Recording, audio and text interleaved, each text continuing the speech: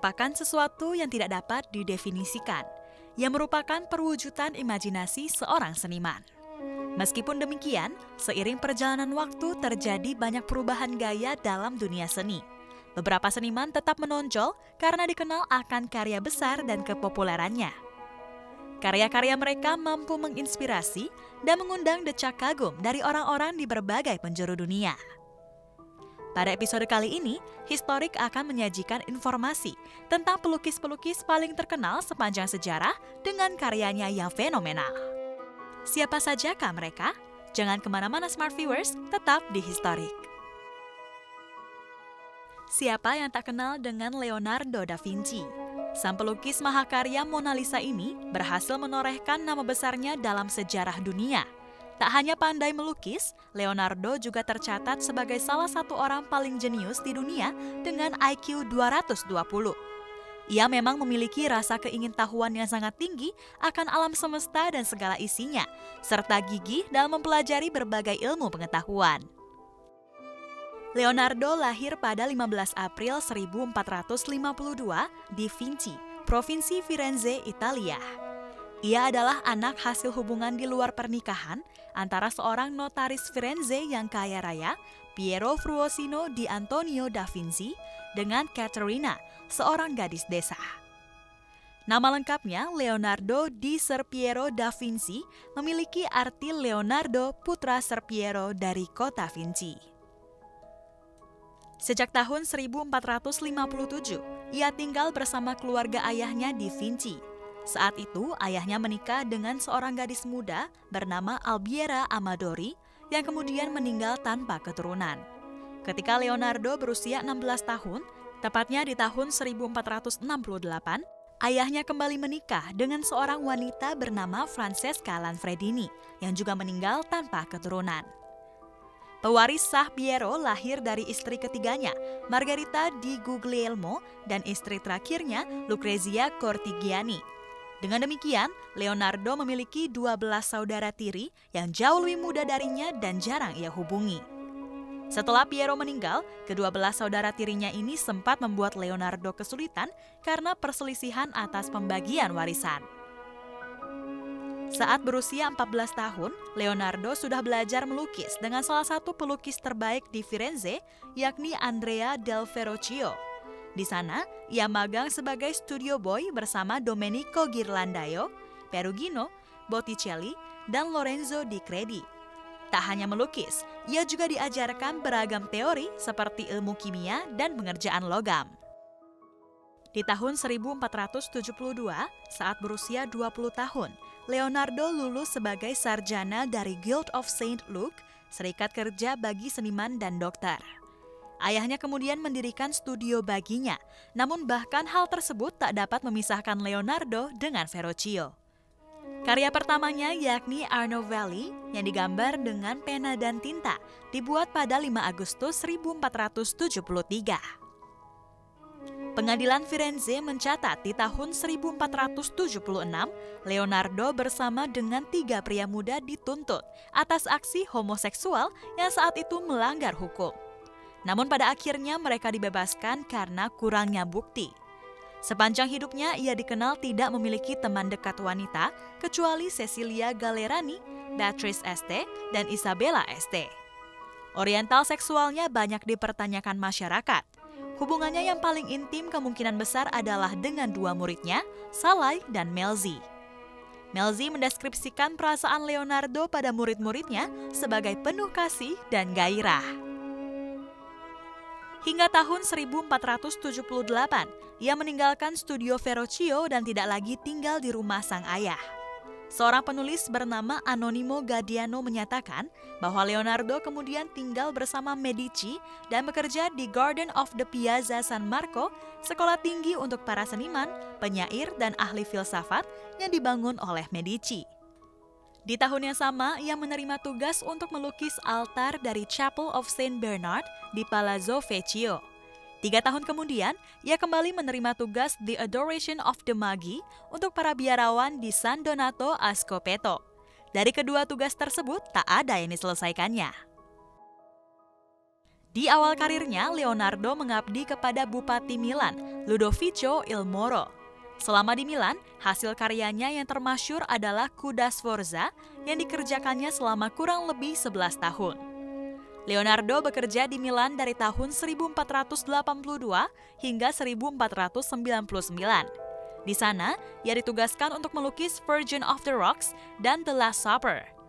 Pada musim semi 1485, Leonardo pergi ke Hungaria sebagai perwakilan Ludovico untuk menemui Matthias Cornelius, sang pencipta lukisan Holy Family. Ia kemudian melanjutkan karirnya di Roma, Bologna, dan Venezia sebelum menghabiskan sisa masa hidupnya di Prancis di rumah pemberian Raja Prancis Francis I.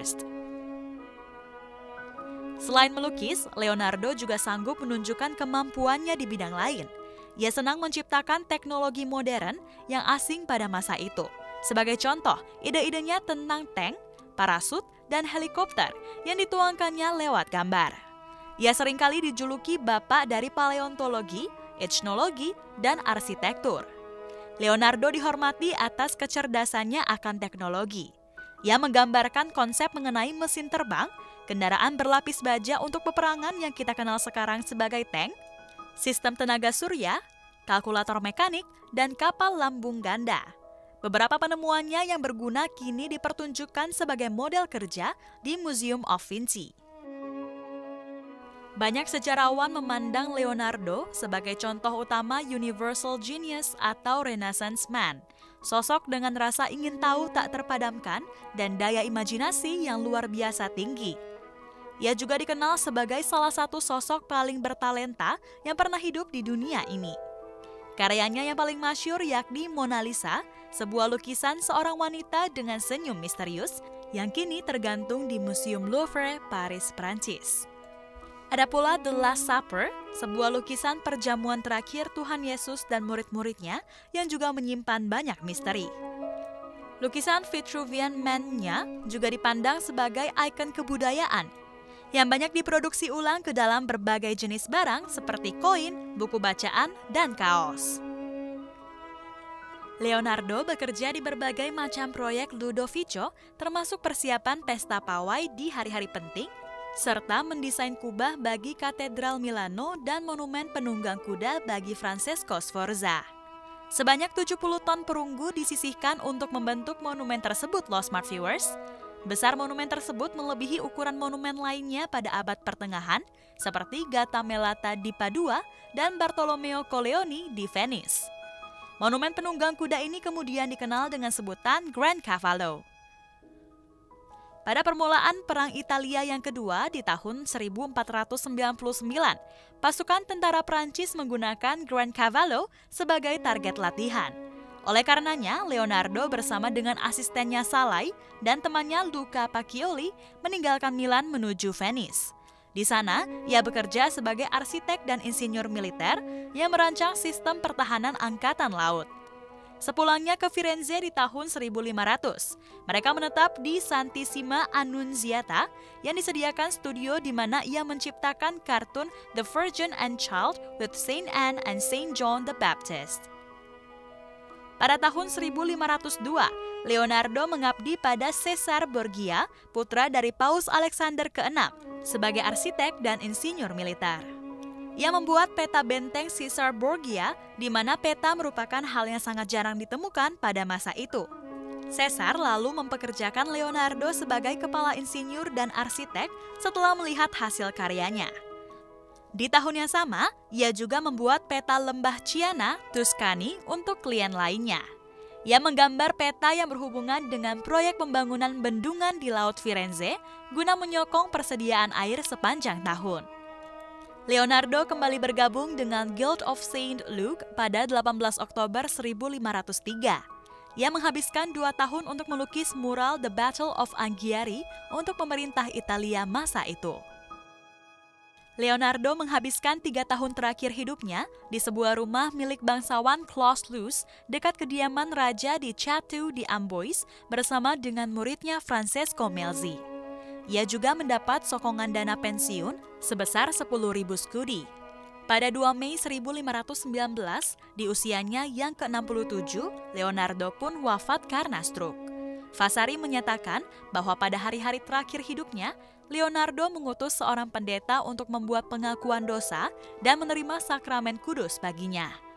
Sesuai dengan wasiatnya, 60 pengemis mengikuti peti mati Leonardo. Sementara itu, Melzi merupakan pewaris utama atas uang, lukisan, peralatan, hingga perpustakaan Leonardo. Ia juga tak lupa akan muridnya Salai dan pelayannya Batista di Vilusis, di mana keduanya mendapatkan setengah dari kebun anggurnya. Sang maestro disemayamkan di Chapel of Saint Hubert di Chateau di Amboise, Prancis. Smart viewers, jangan ke mana-mana ya, karena setelah ini kami akan menghadirkan karya-karya Leonardo da Vinci yang tak boleh kalian lewatkan. Tetap bersama Historik.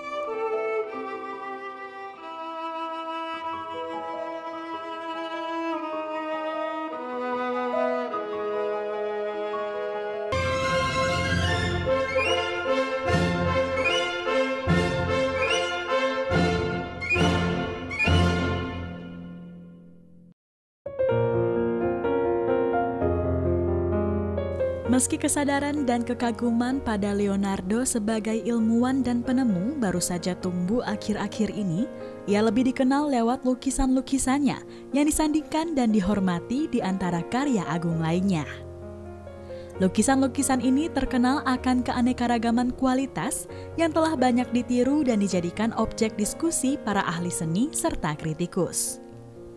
Yang membuat karyanya unik adalah teknik inovatifnya dalam menempatkan cat, di mana ia mengetahui jelas ilmu tentang anatomi, cahaya, botani dan geologi, fisiognomi atau ilmu firasat, serta gradasi warna yang hampir tidak kentara. Semua kualitas ini melengkapi satu sama lain dan melahirkan karya-karya masyurnya seperti Mona Lisa, The Last Supper, dan Virgin of the Rocks. Berikut historik sajikan lukisan-lukisan terpopuler karya Leonardo da Vinci. Annunciation Lukisan ini dibuat pada saat ia magang di Loka Karya Verrocchio, yang keduanya berjudul Annunciation. Yang satu berukuran kecil dengan panjang 59 cm dan tinggi 14 cm. Sementara yang lainnya berukuran lebih besar dengan panjang 217 cm. Dalam lukisan yang lebih kecil, Bunda Maria memalingkan pandangan dan melipat tangannya sebagai sikap tunduk pada perintah Allah. Berbeda dengan lukisan lainnya, di mana Bunda Maria digambarkan tengah membaca Alkitab dan didatangi oleh malaikat pembawa kabar. Gadis muda ini digambarkan tenang dan menerima tugasnya dengan percaya diri.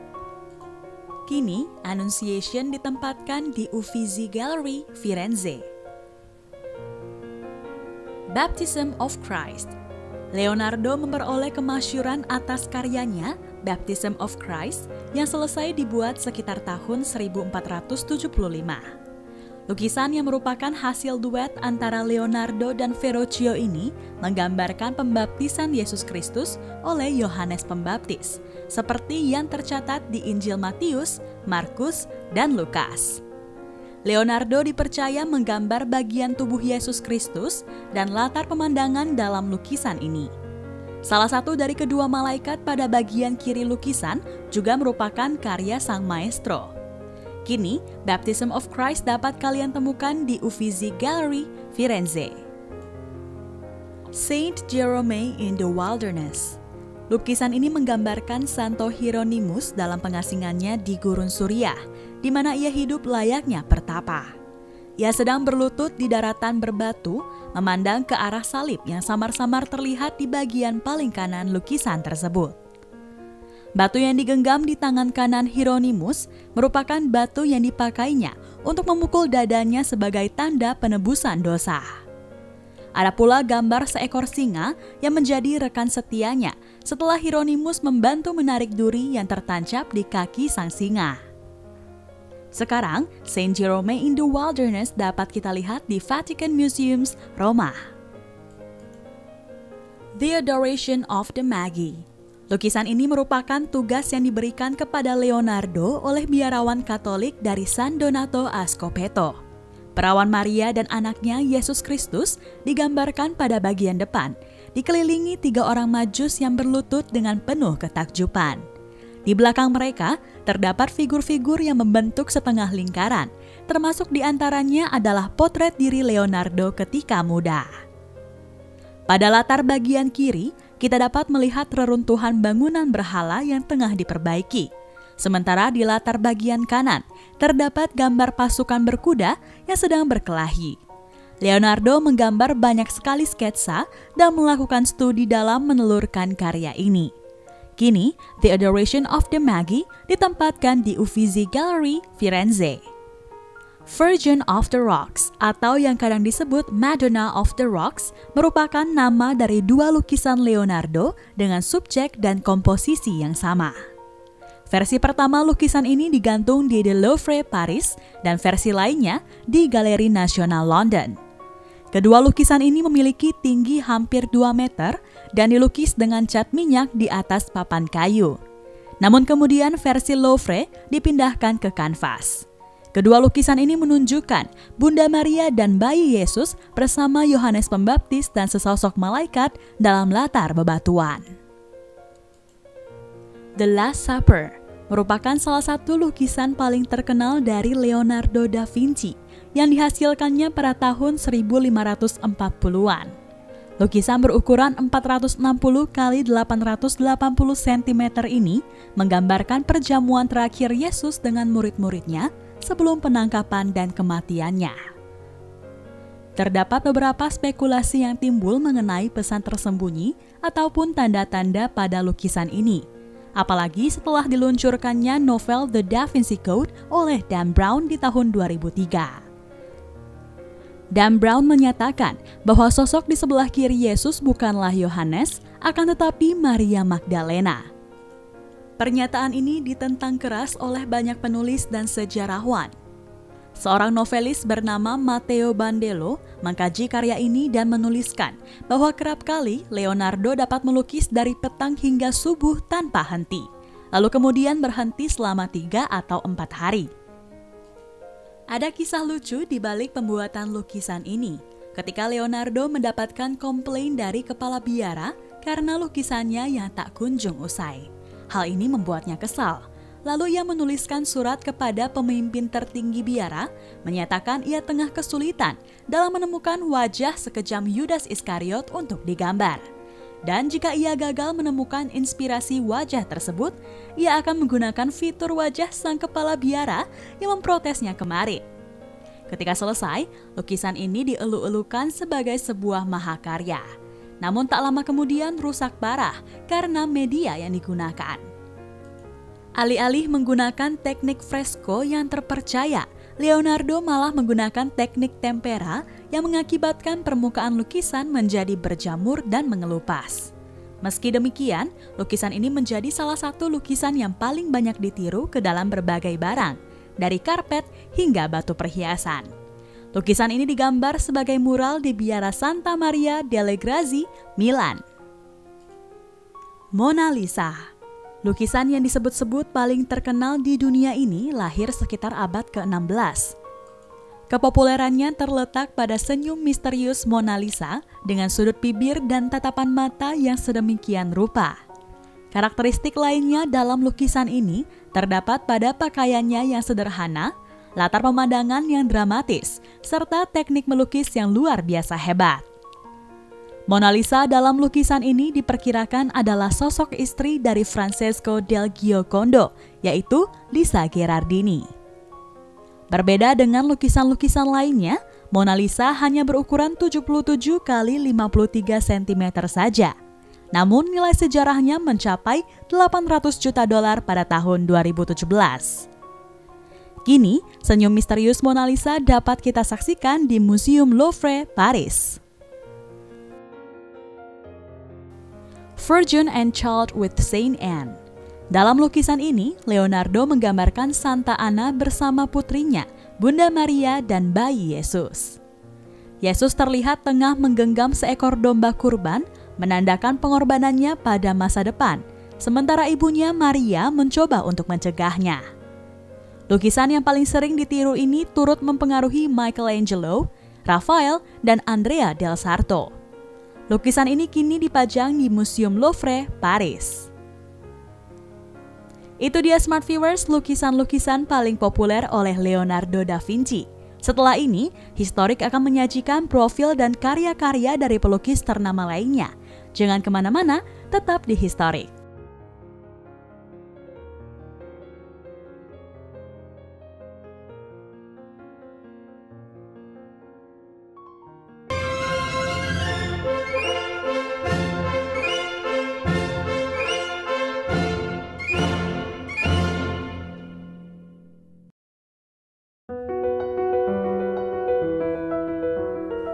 Pelukis yang satu ini merupakan anggota lain dari Renaissance Man. Ia juga dikenal sebagai salah satu saingan Leonardo da Vinci.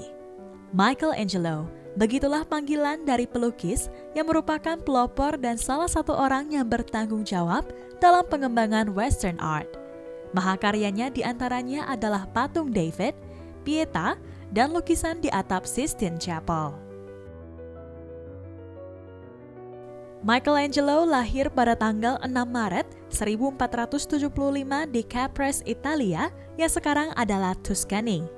Lahir dengan nama Michelangelo di Lodovico Buonoriti, ia merupakan anak dari banker Firenze. Pada saat ibunya meninggal, ia dititipkan kepada seorang pengasuh yang suaminya merupakan pemotong batu. Dari situlah cintanya terhadap batu marmer tumbuh. Beberapa tahun kemudian, Michelangelo dikirim ke sebuah sekolah untuk memulai pendidikan bahasa. Tetapi ia tidak memiliki minat dalam bidang tersebut dan memilih untuk melukis. Kala itu, kota Firenze merupakan pusat seni negara Italia. Sekelompok pelukis dari Firenze dipanggil ke Vatikan untuk mendekorasi dinding Sistine Chapel.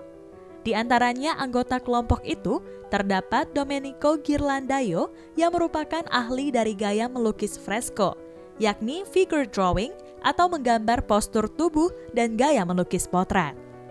Pada usianya yang ke-13 tahun, Michelangelo menjadi murid dari Domenico. Pada tahun 1489, Lorenzo de Medici yang merupakan penguasa Firenze pada saat itu meminta Domenico untuk mengirim dua murid terbaiknya, Francesco Granacci dan Michelangelo.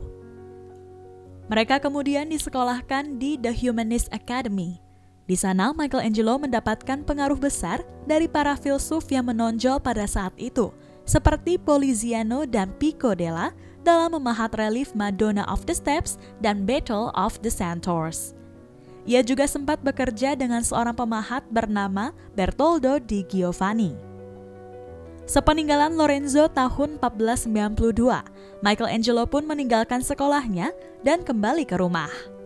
Beberapa bulan kemudian, ia memahat sebuah kayu polikrom menjadi sebuah salib yang kemudian dinamakan sebagai crucifix. Salib tersebut kemudian diberikan sebagai hadiah kepada gereja Florentine. Sebagai tanda terima kasih, gereja tersebut mengizinkan Michelangelo untuk mempelajari anatomi manusia. Pada tahun 1494, ia memahat sebuah patung pahlawan Yunani, Hercules, yang kemudian dikirimkan ke Prancis. Sayangnya, patung tersebut kemudian menghilang pada abad ke-18. Pada Januari 1494, Pewaris Lorenzo, yaitu Piero de Medici, memberi tugas pada Michelangelo untuk memahat sebuah patung salju. Setelah itu, Michelangelo meninggalkan Firenze ke Bologna untuk mengerjakan beberapa patung kecil bagi kuil Santo Dominic. Pada akhir tahun 1494, ia kembali ke Firenze dan bekerja untuk Medici. Di sana ia mendapat tugas untuk memahat patung Yohanes Pembaptis. Seorang pejabat bernama Rafael Riario dibuat sangat puas dengan hasil karya Michelangelo hingga kemudian mengundangnya ke Roma. Michelangelo tiba di Roma pada tahun 1496. Ia diberi tugas oleh Rafael untuk memahat sebuah patung dewa anggur Romawi yang bernama Bacchus. Akan tetapi patung itu malah ditolak oleh para pejabat dan kemudian diambil oleh seorang bankir bernama Jacopo Galli untuk ditaruh di kebunnya. Setahun kemudian, ia ditugaskan kembali oleh pejabat lainnya bernama John Deville Harris Lagraulas. Pejabat tersebut meminta sebuah patung Bunda Maria yang sedang berduka sambil memegang jenazah Yesus. Proses memahat patung tersebut memakan waktu hingga dua tahun. Patung itu kemudian menjadi salah satu mahakaryanya yang dikenal sebagai Pieta. Patung tersebut kini terletak di Gereja Basilika di Vatikan. Pada tahun 1499, Michelangelo kembali lagi ke Firenze. Di sana, ia ditunjuk untuk menyelesaikan sebuah proyek yang sudah dimulai sejak 40 tahun sebelumnya. Proyek tersebut adalah sebuah patung besar yang dibuat dari marmer Carrara yang menggambarkan Daud sebagai simbol kebebasan Firenze. Proyek ini merupakan hasil karyanya yang paling terkenal, yang diberi nama The Statue of David. Karya ini membuat Michelangelo dikenal sebagai pemahat dengan kemampuan luar biasa.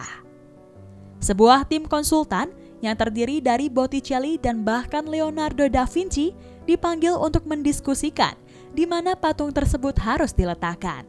Akhirnya, mereka memutuskan untuk menaruhnya di Piazza della Signoria di depan Palazzo Vecchio.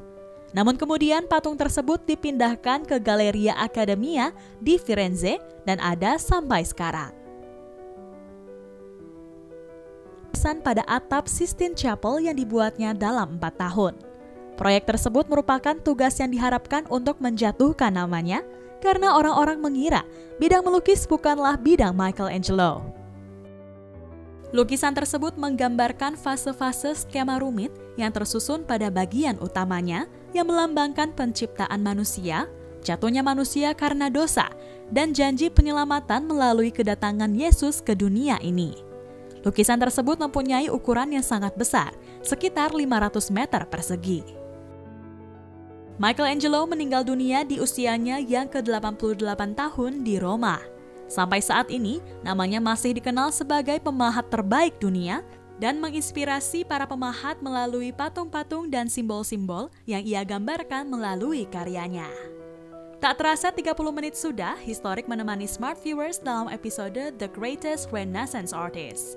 Jangan lewatkan informasi menarik lainnya hanya di www.binus.tv. Sampai jumpa di episode selanjutnya.